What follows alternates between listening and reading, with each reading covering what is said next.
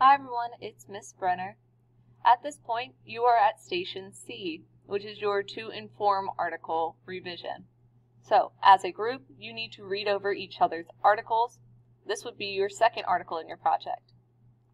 Is there an introduction? Do they use a thesis statement? So that means that they should have some form of introduction that lays out uh, what they will be telling us will be coming in their three body paragraphs. Are there three body paragraphs? Do they inform the reader in a unbiased manner? So remember, they shouldn't be using elements of persuasion in this article. There should be no ethos, pathos, or logos here. Do they inform the reader in an unbiased manner? Do they use quotes from their sources? If they do, they must be cited with in-text citations, which would be the last name of the author in parentheses. Do they paraphrase information from their sources? If so, even though it's in their own words, they need to make sure they have citations, otherwise it is plagiarism because it is not originally their own idea.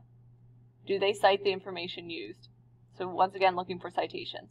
Do they have a full citation at the bottom of their project? They should have a section that is all citations. Alrighty. After you do those elements, make sure that their um, project doesn't have any grammar issues, seems to flow nicely, that you understand what's being told in the informative article, and give them some feedback. Alrighty guys, I'll talk to you later. Bye.